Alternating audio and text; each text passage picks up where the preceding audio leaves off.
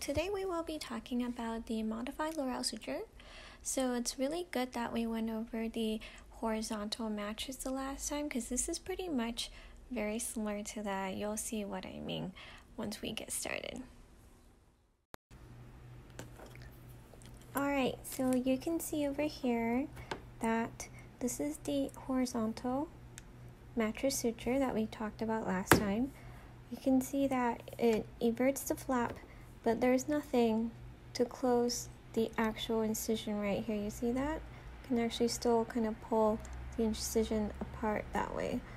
Okay, so what you can do is you can put um, a simple interrupted over it, or you can do the modified Laurell suture that I'll show you right now. It's very similar to the horizontal mattress that I showed um, last time.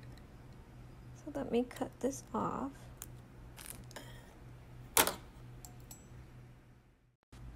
Alright, let's do the modified Laurell suture here.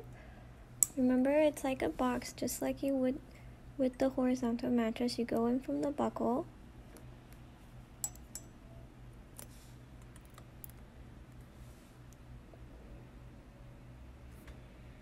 Now you exit out of the lingual flap.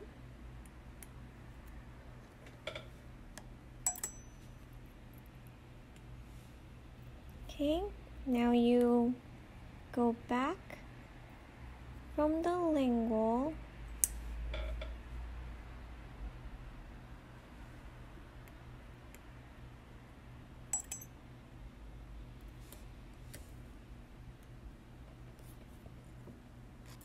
out of the buccal flap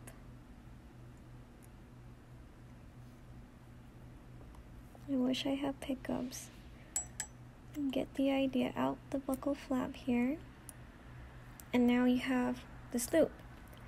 So what makes it the modified Laurell suture instead of the horizontal mattress is simply passing this needle through the loop like so.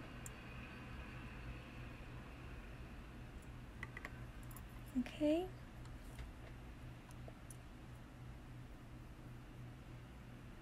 you got your tail end of the suture here and you pull and they'll all come together. See that? Comes together super nicely. Now what you do is you want to tie it to the suture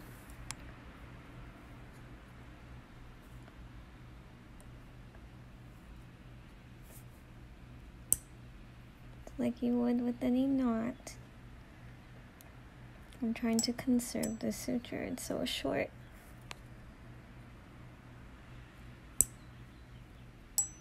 Okay. Yay. Almost. There you go.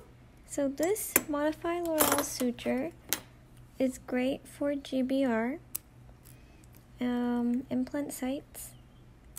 You see how it's got the lying in the middle there and it's still got that um, box kind of like the horizontal mattress but that line goes through it.